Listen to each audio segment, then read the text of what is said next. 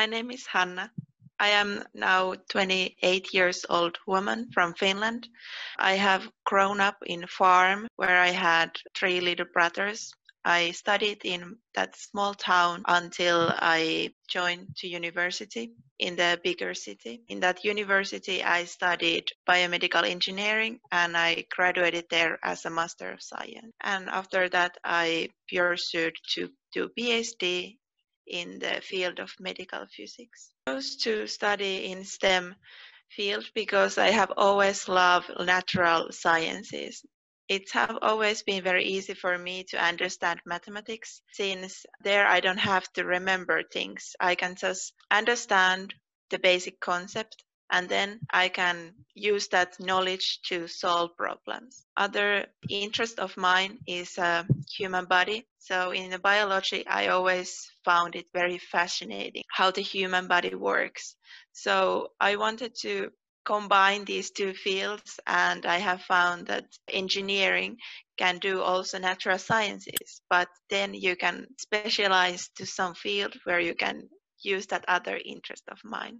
My parents and my whole family haven't been very highly educated.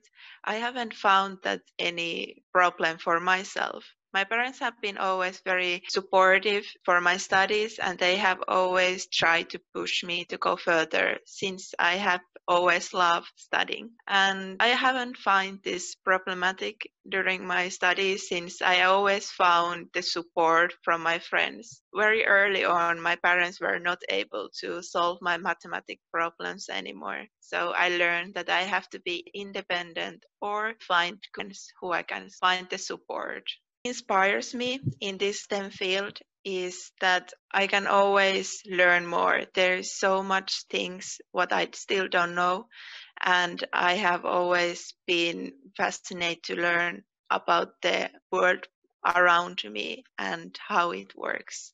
And in physics, I found it very interesting while I understand something, why there is something small happening in the world, and I, I can understand why it is happening. Doing PhD at the moment in University of Oulu. I'm studying medical physics in the group of research unit of medical imaging, physics and technology.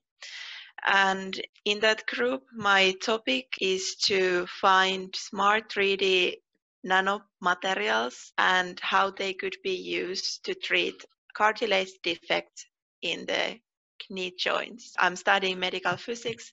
I'm still doing something related to human. So I'm trying to find new materials which could replace the damaged cartilage and then heal human bodies. Before university studies, I was working in the bakery since baking is my loved hobby. After I entered the university, I had uh, opportunity during my master studies to work as a research assistant.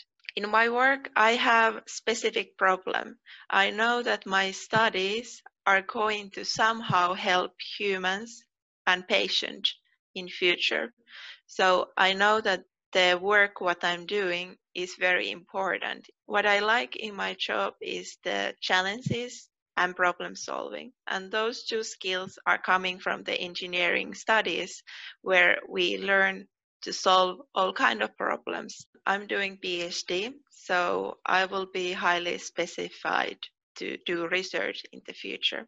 So for me, there is quite many different companies where I can continue my studies and do research in there. Uh, I haven't yet decided what I want to do after my PhD studies since there are so many options. I can also continue in the academic career, but then it might go a little bit further from the actual handwork. I want to work in laboratory. I want to do something with my hands. So that's why I might pursue for the private companies. And even though you haven't done PhD, the opportunities for engineers are very broad. Most of my friends who graduated at the same time, they are working in different kind of companies in IT, truck related companies or some other ones. There is so many different kind of opportunities for us since we are learning those kind of basic skills problem solving natural sciences. The opportunities for us are much higher since we understand better this kind of engineering mind. Very important to have girls in STEM fields because they are so mainly at the moment. So if the guys are doing the research, for example, for medicine, and we are not having any influence for that, we are not having our voices heard. Most of the medicine studies are at the moment done for the male animals and that's why the drugs are not working for us or we have different kind of side effects because women has different kind of bodies and they are more problematic to study. So that's why people normally use simple model guys. So it's very important that we have our voice heard also in this kind of fields and everywhere else. So follow your passion do what inspires you. Don't do what everyone else is doing if you want to do mathematics. Do what you want.